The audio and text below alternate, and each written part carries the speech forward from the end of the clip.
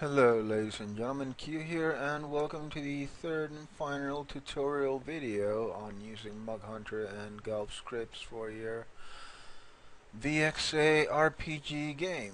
Um, this is the third part so if you haven't seen the previous videos you might want to go back and look at them. Links down below. And as always let's go ahead and start with a sort of review of what we've done so far. Here we have the project data for our game. And I will assume that you've already made a game with maps and events and so on. So let's go ahead and make, again, a map here. Whatever. And an event.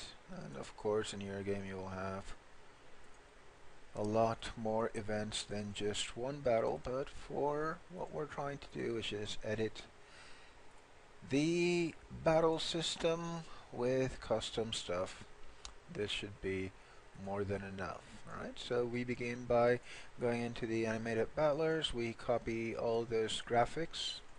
And if you will remember you can also use any of the holder animated battlers. We go over that on the second folder and for the heads up display you also want to copy in the graphics, link to Moghunter heads-up displays below, and we went over them on the first video.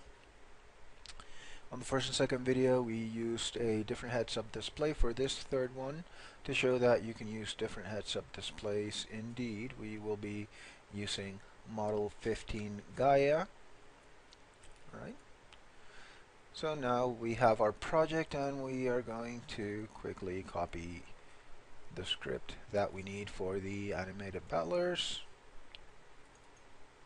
We copy that and we put it into our project. Again, I'm going over this real quickly because this is just a review. If you want to see a more thorough explanation of what I'm doing here, then you can go back to the first and second videos.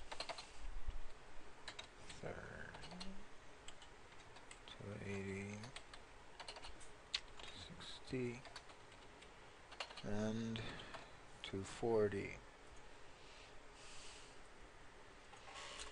and close that we open up the Gaia I believe that we have already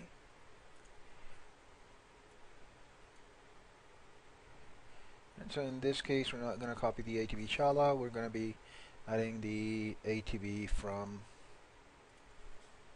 another script. And the reason that I will be using another ATB model rather than Chala is to show you guys that it doesn't really matter whether you use the Chala ATB gauge or the Atelier ATB gauge or some other ATB gauge that you might find elsewhere. Again, the functionality is the same in terms of how they work within your game. And again if you haven't seen the second video you might be a bit lost. So that's quite alright. Just go back to the second video and um, you'll see what I just did let's go ahead and make sure that we did indeed copy the graphics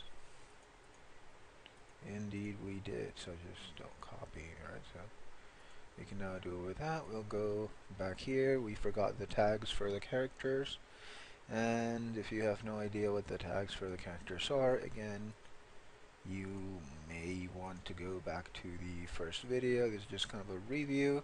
So if you've watched the other videos, or if you're familiar with the scripts, indeed, you may very well be able to follow what I'm doing here, right? So we'll copy the Spearwoman tag into the characters. What I'm doing right now, remember the Galv Battler script functions via tags in the character notes. So when you write down that Terence, for example, will be using the swordsman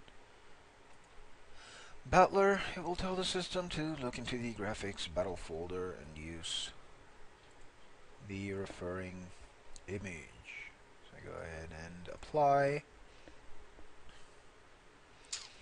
And so far what we have done is apply a heads-up display and custom battle characters to our game. We didn't put any to the enemies, but that's really quite alright for now. Right, just making sure that it does indeed work. Maybe we do want to give our enemies tags, so let's go ahead and do likewise with our slime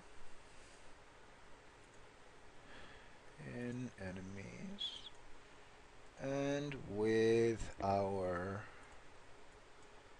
bat copy and we are now done Frankenspriting the first and second stages of our battle system. Let's go ahead and just kind of rearrange these sprites. Put a bat up here. Apply, we're good to go. Alright, so ladies and gentlemen, we have caught up with what we've done in the previous two videos. Don't care for that. Uh, what I'm going to do now is we're going to add the ATB gauge for the Arton Helico series. Alright, and what this does, if you remember the previous video in the battle system we had on the top right a action gauge an action time gauge that was circular. This time around we'll be using a horizontal one. So we just go ahead and copy the required the required scripts. These scripts, by the way, for the ATB Ayesha bar that we will be using can be found again in the mug Hunter HUD pack, which I have linked below. Um, I think that uh, most of the configuration here is fairly self-explanatory, by the way. Um, if you have been with me on the first two tutorials, you should really be able to understand what's going on here. It's pretty much the same principle. We do need the visuals. So you'll find that on HUD 12 Tayo. So let's go ahead and copy this graphics over to our project. If you will remember, yes, copy the folders, but no, do not copy the bars. Um, actually, we, we may have to copy some of them indeed. Uh, let's see if that's correct. Uh, we may have to overwrite some. Oh no, we don't. We have the Ayesha HUD. And what we've done is we've added the functionality of a action battle system. Instead of using the round Shala system, we have this slightly nicer looking, I think, system that kind of imitates Atelier Ayesha. Alright, so we'll go ahead and add more characters to our party. I always forget to do that. So here we go, Natalie, Terrence, and Ernest. Alright, and we're going to go ahead and go to the Atelier script. It's not the script, where? And if you remember the bar that we just saw was vertical, maybe we want it to be horizontal, so we go to mod underscore atb underscore aisha We set it to horizontal. It should be somewhere around here. Layout. Here we go. Gauge type, zero vertical, one for horizontal. We set it to horizontal. We go ahead and show that looks like now. And here you see a different configuration with a different HUD. Right, we still have the HUD, we have the custom face. If you guys go to the second video, you will remember how to customize the art and so on. So we go ahead and save this and what we're going to do now is add the final bells and whistles to your system, right? We've taken your game that you've already prepared or maybe you haven't even started and you want to set up a new system and now we're going to add um, nicer battle backgrounds. What you've noticed so far is that all the battle backgrounds are pretty much static. What you want to do to add animations to them is you want to get the Moghunter Battle Back pack. You want to copy all of those graphics. Again, graphics really important. So yes and no, we do not want to overwrite anything. And open this up and you're going to need two major scripts and the entire map from this little engine, right? The two major ones that you'll need are the Battleback EX. This is what tells the system in your project which images to look for. Right, so we go ahead and paste that.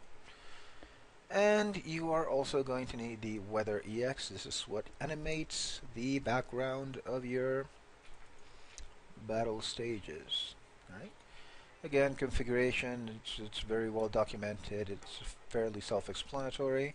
If you've been with me in the previous videos, you should be able to uh, kind of understand how this works without a lot of explanation. And you do want the map. Right? For this script, the map is of utmost importance. The reason being that the battles here are, you know, the backgrounds are called via script. So let's go ahead and start the player position here. And if you'll notice, each of these images has a, each of these events has a different script. So be clear. And this is calling blue sky, ocean, and beach. If we look at a different one, this one is calling uh, the woods, the fog, and so on. And let's go ahead and look at what we've just done. Right, what we've done is again set up a number of different animated backgrounds for your battle system. Now you notice that the ocean is moving back and forth. You'll see that the sky is moving. Uh, let's just go ahead and try to escape this battle. wonder if we started to escape. If we look at this one, we'll see a different setting. You'll see that we are behind a mountain, so you it may behoove you to kind of play around with the coordinates of the animated battlers in the Galv script. Just go ahead and be done with that battle. But we do see kind of like the fog and the clouds. We go to the, let's just go down here. I think this one was a nice one. Right? We have the desert, we have the clouds rolling around and so on, and that's basically what we've done here in this situation. We've added animated backgrounds to your fight scenes, right? So we have the custom HUD with all the nice menus. We have the animated characters here on the left and right.